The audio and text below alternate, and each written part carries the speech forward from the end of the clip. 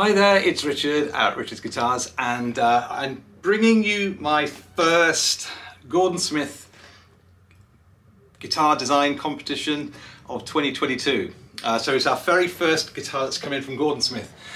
Anybody who has a Gordon Smith guitar made this year, as I mentioned in a previous video, uh, if you have a guitar design for you and it arrives before Christmas, cut off, you will be included in our Gordon Smith guitar design competition for 2022 and win the opportunity to have a £2,000 uh, custom Gordon Smith made for you. So a second guitar effectively for free. And uh, so here's the first one. And um, I'm couldn't be more pleased that this is the first one because it's a bit of a sort of uh, a new, not say new concept, but it's the first, it's the first one that's been made. Uh, so the concept's not new, but it's the first one that Gordon Smith have done for me.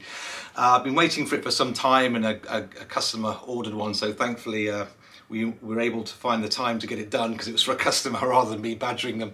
Uh, so what we've got is this lovely Classic S. Okay, so we've got a Classic S. Um, we've got the um, the flame top uh, so we've got the veneer to the top which that again is not normal for a Gordon Smith on a, on a Classic S. And we've got this beautiful binding. So this is something I've never seen on a Gordon Smith. So as far as I'm concerned this is a sort of a new breakthrough for Gordon Smith and this is putting fully bound um, contour to a Classic S. So you get that drop top style. Um, drop top just meaning like the chamfering here um, but you know, it's it's it's this this is further kind of uh, exaggerated by by seeing that defined line, which always looks absolutely beautiful. So um, so if this was a slab maple, you know, we could sort of have a maple all showing around there and seeing all the beautiful sort of flaming uh, effect all around. So. Um, that's potentially a new design for the future. So uh, we then have the honey roasted maple. So on this particular one, uh, you'll see, I'm trying to get the light right for you so that you can, because it's absolutely beautiful. It's bouncing off in real daylight, but whether you can see it in the light on here, I don't know. So um, there we go, there we go. That's more like it, you can see it now. So just beautifully flamed maple all the way, all the way to the top, right through the headstock. It's all gorgeous. Look at that, all the way through, all the way through the board just stunning, absolutely stunning. Um, the other thing to show you is this particular chap wanted the, um, effectively this is set up like um, Jimi Hendrix style. So what we have is the, by pretending that the guitar was a right-handed guitar flipped around for a left-handed player, it's effectively a left-handed pickup configuration on a right-handed guitar. I think I think I've said that right.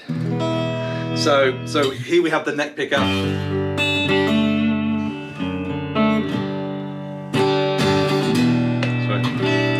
So um, neck pickup. If I go to the back pickup, the, the, the, difference basically being on this, this setup is that when you're on the back pickup, because that pickup is now slightly slanted forward, it's not quite as biting. So if you want the fully authentic Hendrix sound, you would have this pickup like this. So, so this particular person wants it like that. So you don't get quite quite the same amount of sharpness on that um, on that back pickup. And then you've got that beautiful nasally sound. And, and if you want a bit of rock, it's all there.